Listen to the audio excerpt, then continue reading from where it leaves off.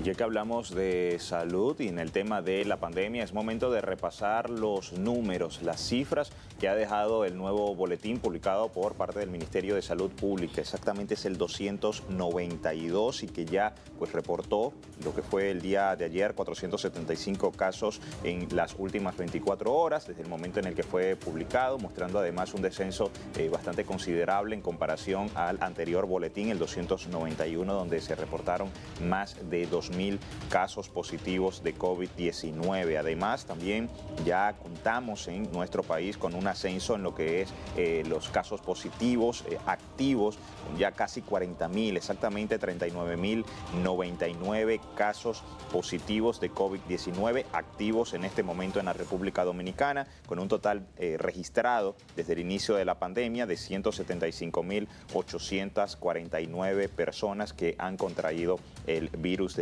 y en esta enfermedad, la COVID-19. Además también tenemos ya los recuperados que alcanzó la cifra de 134.331 personas que afortunadamente se han recuperado de este virus.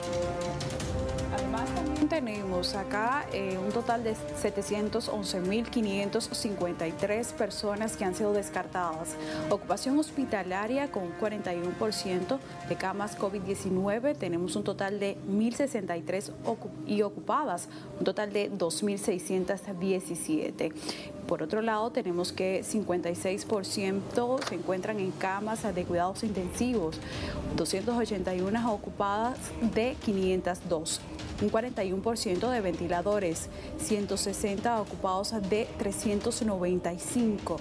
Además, 2.417 muestras procesadas se han realizado en las últimas 24 horas y tenemos que 887.402 muestras en total. 29.21% es la positividad diaria que se está reflejando en los boletines. Un 2.419 son las personas que han fallecido a causa del COVID-19 y en las últimas 24 horas no se han registrado fallecidos.